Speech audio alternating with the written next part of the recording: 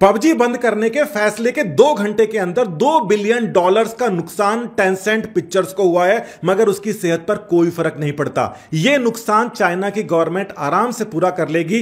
जो असली साजिश है चाइना की गवर्नमेंट की, वो इससे बहुत आगे की है, और इसके लिए वो हज़ारों बिलियन डॉलर भी कुर्बान करने को तैयार है। चीन का सबसे पॉपुलर गेम के दो वर्जन बनाए जाते हैं। एक चीन के अंदर खेलने के लिए और एक चीन के बाहर पूरे विश्व के अंदर खेलने के लिए। इसके पीछे बहुत बहुत बड़ी साजिश छुपी हुई है। बारह साल के एक बच्चे को आप भाड़े का अपराधी लूट खसोट की ट्रेनिंग देते हैं और दूसरे बच्चे को आप देश हित के अंदर, देश की सेना को सपोर्ट करने की ट्रेनिंग देते हैं। आपको क्या लगता है कि फ्यूचर के अंदर जाकर कौन सा बच्चा देश के, समाज के और मानवता के काम आएगा? पबजी के दो अलग अलग वर्जन चलते हैं। एक वर्जन जो चाइना के लिए बनाया गया है, जो देशभक्ति को बढ़ावा देता है, और एक इंडिया या बाकी वर्ल्ड के लिए बनाया गया है, जो हिंसा, स्वार्थ और व्याभिचार को बढ़ावा देता है। चाइना के अंदर वो वर्जन नहीं खेला जाता, जो चाइना के बाहर खेला जाता है, क्योंकि वो वर्जन वहाँ के साइकोलॉजिस्ट ने प्रूव किया है कि यह समय की और दिमाग की बर्बादी करता है, हानि करता है, और प्रोडक्टिविटी को लॉस करता है।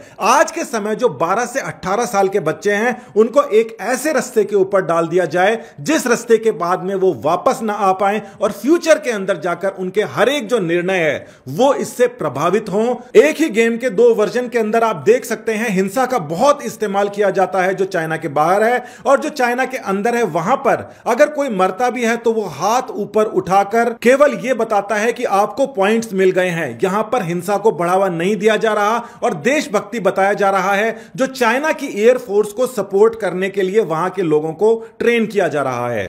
देश के जाने माने neuro psychiatrist doctor Vikram Bagadia, जो सरकारी डॉक्टर भी हैं, जो जेल के अंदर भी ड्यूटी लगती है क्रिमिनल्स के साथ में भी उनका अच्छा इंटरेक्शन है, उनके दिमाग के ऊपर नज़र रखते हैं, उनका यह कहना है कि इस समय बहुत सारे क्राइम्स जो एसोसिएटेड हैं, वो वीडियो गेम की वायलेंस के साथ में देखे जा रहे हैं। ऐसे पेरेंट्स उनके पास में आ रहे हैं, जो अपने बच्चे का व्यवहार के अंदर चेंज दिखाई देने की शिकायत कर रहे हैं, और साथ ही के अंदर उनका व्यवहार बहुत ही आपत्तिजनक होता जा रहा है। मार्च 2019 के अंदर भी एक और रिपोर्ट पब्लिश हुई थी, जिसके अंदर पबजी के ऊपर बैन लगने की बात उठाई गई थी, क्योंकि इसकी वजह से बच्चों का दिमाग काफ़ी हद तक खराब हो रहा है और वो साइकोपैथ तक बनते जा रहे हैं। अब इस बात को समझना ज़रूरी हो जाता है कि केवल इंडिया के अंदर ही क्या ऐसी प्रॉब्लम आ रही है, बाहर के देशों में ऐसी प्रॉब्लम क्यों नहीं आ रही? आप देख सकते हैं कि अमेरिका के वेरिजोन में दो घंटे का अगर डाटा आपको चाहिए तो उसके बीस डॉलर तक देने पड़ते हैं। इसका मतलब महीने के करीब पैंतालीस हज़ार रुपए तक खर्चा हो जाता है। इस गेम को खेलने का, जो ज़्यादातर लोग नहीं करते। सेलुलर डाटा इंडिया में बहुत सस्ता है, जितना उनको एक दिन में पैसा देना पड़ता है, यहाँ पर पूरे महीने का रिचार्ज चल जाता है। इसकी वजह से यहाँ पर पबजी पॉपुलर हुआ। मगर सामने वाली कंपनी के ऊपर भी तो इसका भार पड़ता होगा। तो क्या उस कंपनी के ऊपर इतना भार नहीं पड़ता था, जितना उसकी कमाई हो जाया करती थी? और अगर वो नुकसान में है तो वो कंपनी इतना पैसा खर्च क्यों कर रही है? अलग अलग टॉप कंपनियों के अंदर काम करने वाले दो साइबर एक्सपर्ट्स आशीष मित्तल और मुकेश कुलहरी से बात की गई तो उन्होंने बहुत ही चौंकाने वाले खुलासे किए। जितना डाटा आप इस्तेमाल करते हैं, अपने मोबाइल से उतना ही कंपनी को सर्वर के ऊपर भी लगाना पड़ता है। हर साढ़े छह सौ खिलाड़ियों के ऊपर एक नया सर्वर उनको लगाना पड़ता है। मोटे तौर के ऊपर एक खिलाड़ी के ऊपर दिन का सौ रुपया खर्च करना पड़ता है चाइना की कंपनी को।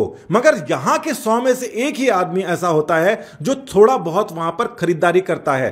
तो इतना ज़्यादा पैसा चाइना आखिर लगा क्यों रही है इंडिया के ऊपर और यहाँ के लोगों को उससे क्या नुकसान हो रहा है? अब इस जानकारी को देखिए कि चाइना के अंदर जुआ खेलना पूरी तरीके से प्रतिबंधित है, पकड़कर जेल में डाल दिया जाता है। अब इस बात पर नज़र डालिए कि चाइना में जुआ पूरी तरीके से प्रतिबंधित है और साथ ही के अंदर पबजी का हिंसक स्वरूप भी प्रतिबंधित है। मगर चीन की सरकार आखिर कर क्या रही है? मकाऊ एक छोटा सा टापू है जहाँ पर चाइना के द्वारा ही संचालित कैसीनो जुआ खाने के अड्डे चलते हैं। चीनी सरकार अपने जगह पर जुआ नहीं खेलने देती, मगर अलग से टापू के ऊपर जुए खाने के अड्डे बना रखे हैं, जहाँ पर विदेशी आकर वहाँ पर जुआ खेल सकते हैं। साथ ही कंबोडिया के अंदर करप्शन का बुरा हाल है, वहाँ पर चाइना के बहुत सारे कैसीनो खुले पड़े हैं। जो बात कंबोडिया के साथ में चाइना कर रहा है, वो कल को नेपाल के साथ में होने वाली है, इसलिए नेपालियों को भी अच्छी तरीके से जान लेना चाहिए कि चीन बाहर जाकर क्या करता है, खासकर कंबोडिया जैसे जगहों में, जिनके लोग और जिनके जीडीपी बिल्कुल नेपाल के क्षेत्र और लोगों के साथ में और जीडीपी के साथ में मिलती है। अल जजीरा ने इसके ऊपर व्यापक खबर छापी है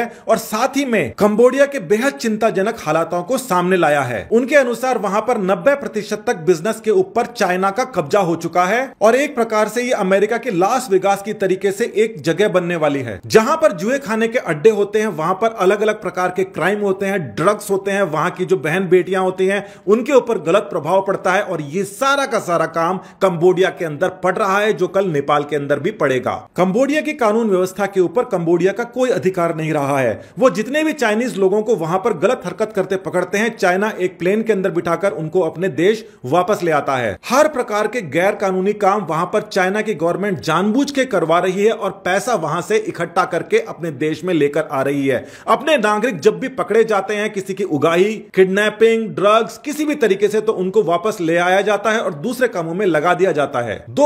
2017 के बाद में कंबोडिया में ड्रग्स की बेहताशा वृद्धि हुई है, जब से चाइना कैसीनो वहाँ पर बने हैं। दूसरे की कंट्री के अंदर जाके कैसीनो खोलकर ड्रग्स का वहाँ पर व्यापार करना और वहाँ से सारा पैसा उठा के अपने कंट्री के अंदर ले आना। चाइना का तरीका है ये। कंबोडिया के लोकल लोगों का इतना नुकसान हो गया है, उनके पास पैसे नहीं है। उनकी महिलाओं को कैसीनो के अंदर काम करना पड़ता है। इसके अलावा उनके पास कोई चारा नहीं बचा है। आप ये बात सोचिए कि एक ऐसी गवर्नमेंट जो हर वो बुरे काम है अपने देश में नहीं होने देती, वो दूसरे देश के अंदर जाके कर रही है, उसी के अंदर पबजी भी शामिल है। एक, उसका फ़ायदा उठाने के लिए, देशभक्ति जगाने के लिए, अपने बच्चों को राष्ट्र निर्माण की दिशा के अंदर ले जाने के लिए, और दूसरा, हिंसा, व्याभिचार, स्वार्थ, डकैती और एंटी सोशल बनने की अभी से उनको ट्रेनिंग दी जाने लगी। हमारे देश का वर्तमान वो है जो इस समय यहाँ पर बैठे लोग कर रहे हैं, सरकारें कर रही हैं। मगर भविष्य 12 से 25 साल के युवा हैं जो आने वाले समय में डिसाइड करेंगे कि हम चाइना से आगे जाएँगे या चाइना से पीछे रह जाएँगे। que